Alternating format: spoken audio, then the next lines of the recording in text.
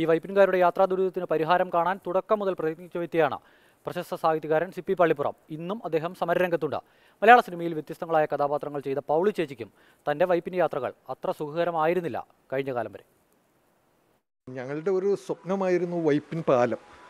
വൈപ്പിൻ പാലവും അതുവഴി ഞങ്ങൾ നഗരത്തിലേക്ക് നേരിട്ടൊക്കെ പോകാൻ കഴിയുമെന്നുള്ളൊരു വലിയൊരു സ്വപ്നം വലിയൊരു പ്രത്യാശ ഞങ്ങളുടെ എല്ലാം മനസ്സിലുണ്ടായിരുന്നു.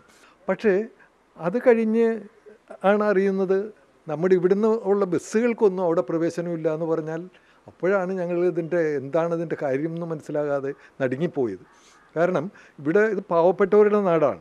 ഇവിടുന്ന് നിത്യേന ആയിരക്കണക്കായ ആളുകളാണ് തൊഴിൽ ചെയ്യാനായിട്ട് നഗരത്തിലേക്ക് പോകുന്നത്. ഇപ്പം ഇവരൊക്കെ വൈറ്റിലിയിൽ പോയി ജോലി ചെയ്യുന്ന ആളുകളുണ്ട് പാലാരിവട്ടത്ത് ജോലി ചെയ്യുന്ന ആളുകളുണ്ട് കാക്കനാട് പോയി ജോലി ചെയ്യുന്ന ആളുണ്ട് തൃപ്പൂണിത്തുറക്ക് പോകേണ്ടവരുണ്ട്.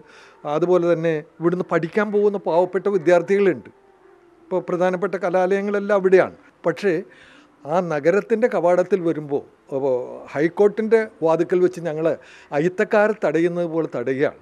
എല്ലാ ബസ്സുകളും വേണ്ട ഞങ്ങൾ അതും വേണമെങ്കിൽ വിട്ടുവീഴ്ച ചെയ്യാമല്ലോ. നമുക്ക് സൗകര്യമായിട്ട് പോകാൻ കുറേ പകുതിയിലേറെ ബസ്സെങ്കിലും അവിടെ കടത്തിവിടണ്ടേ? ഈ പാവപ്പെട്ടവനെ ഞെക്കിപ്പിഴിയുന്ന ഏതോ ലോബികൾ ഇതിന്റെ പിന്നിൽ. കളിക്കുന്നുണ്ടെന്ന് തന്നെയാണ് ഞങ്ങളുടെ വിശ്വാസം. ബസ്സുകളുടെ നഗരപ്രവേശവുമായിട്ട് ബന്ധപ്പെട്ട് ഞങ്ങളുടെ സ്ത്രീകൾ ഞങ്ങളുടെ അഭിമാനികളായ സ്ത്രീകൾ രാത്രിയിൽ നഗരത്തിലൂടെ സഞ്ചരിക്കാൻ പോവുകയാണ്. ഞങ്ങൾക്ക് ഈ അവകാശം വേണം.